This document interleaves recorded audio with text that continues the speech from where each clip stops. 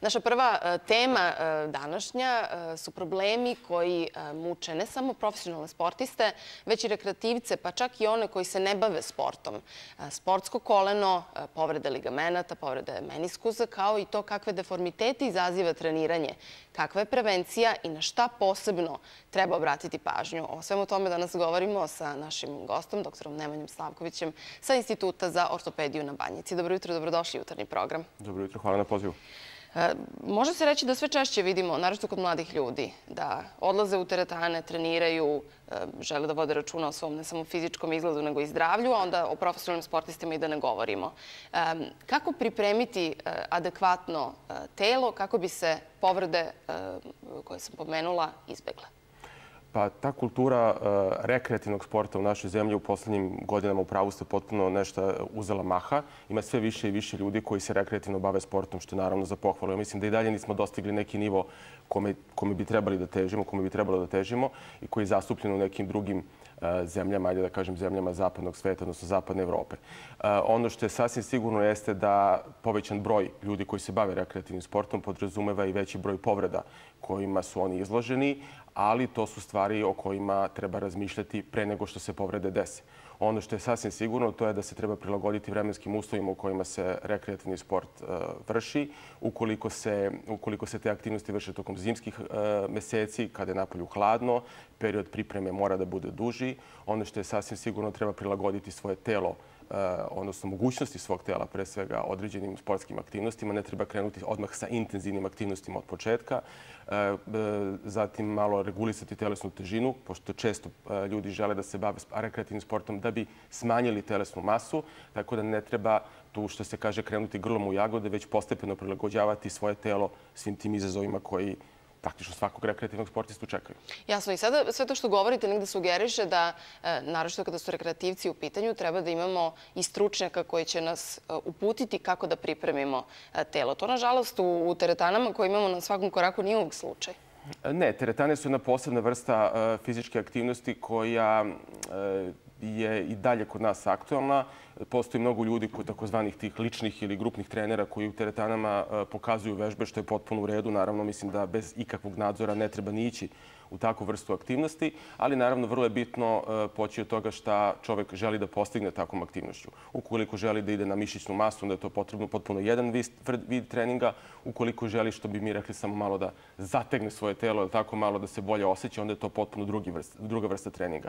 U svakom slučaju, preopterećenje tokom fizičkih aktivnosti, naročito naglo preopterećenje u kratkom vremenskom roku, može da dovede do takvih posledica koje rezultuju kasnijim neophodnim mirovanjem i izostankom iz sportskih aktivnosti, što svakako nije ničiji cilj.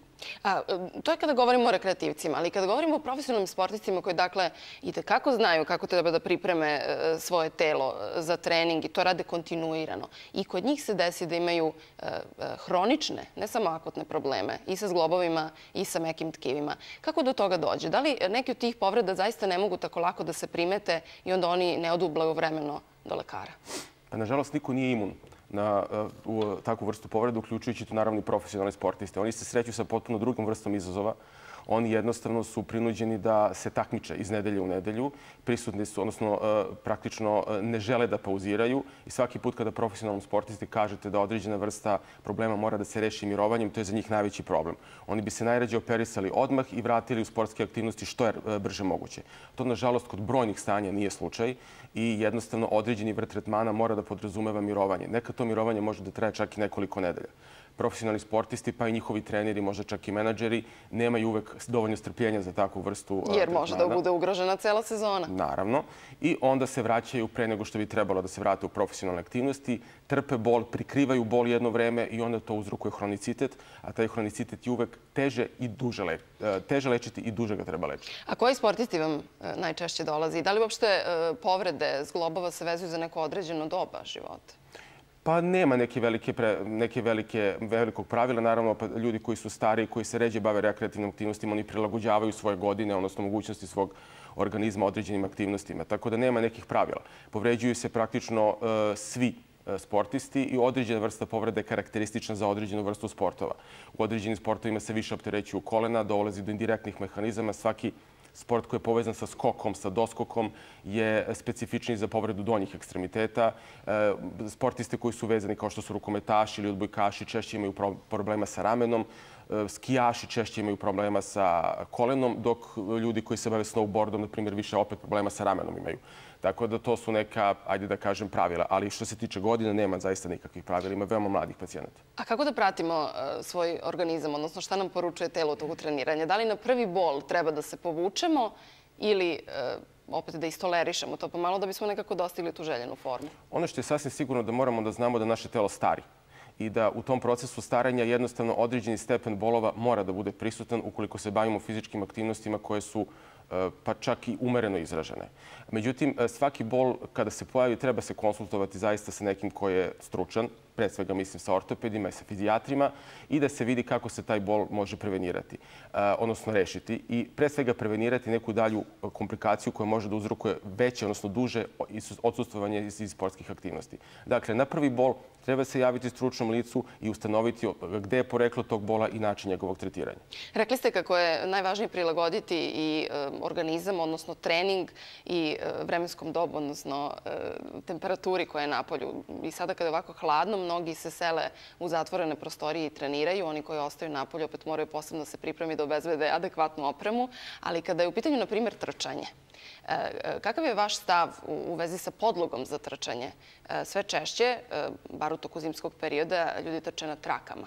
Koliko je to pogubno za zglobove? Da li je potrebno trčati zaista samo po mekoj podlozi ili je i teretana, odnosno traka, sasvim u redu, samo ako se koristi umereno?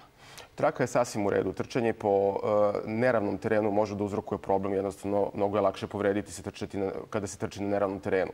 Veliki je problem trčanje po asfaltu, odnosno po betonu. Ona zaista može loše da deluje na, na pre svega na skočni zglob i na stopalo i na kolena. Ono što je, međutim, važnije od svega toga jeste dobar izbor obuće. Znači, dobar izbor patike za trčanje jeste veoma bitan. Ne bi bilo loše možda čak i uzeti određeni otisak stopala pre nego što se kupi patika, jer nisu sve patike pogodne za svaku vrstu našeg, našeg osnovca na podlogu. A ono što je sasvim sigurno, to je da trčanje u zatvorenim prostorijama, odnosno na trakama, jeste dovoljno dobro. Tu je rizik od povrede manji. Podloga na, na toj traci, ona gumena, jeste dosta solidna i to je jedna stvar koja, koja uopšte nije loša, naročito u zimskim mesecima. Dakle, ne bilo kakve patike, baš za trčanje? Ne bilo kakve patike, to je zaista jako bitno. Ne bilo kakve patike, postoji veliki izbor patika za trčanje i mislim da tu čovek koji se bavi takvom vrstom sportskih aktivnosti treba da uloži u svoje telo da bi se bavio takvom vrstom aktivnosti i da ima što manje tegoba. Rekli ste, kod nas se polako razvija ta kultura rekreativnog treniranja, pa sada već smo u one fazi kada počnemo da razmišljamo i o adekvatnoj opremi. Do sada je samo bilo bitno da navučemo nešto udobno na sebi i da odemo da treniramo. Tako, ja sam zaista ovako kao, ajde, umereni rekreativac, veoma zadovoljan i srećan što ima veliki broj zaista ljudi koji se sve više bave umerenim sportskim aktivnostima. Mislim da je to Pa ste optimist. Dobro. Hvala vam, hvala vam što ste bili gosti od programa. Mi sad idemo do studija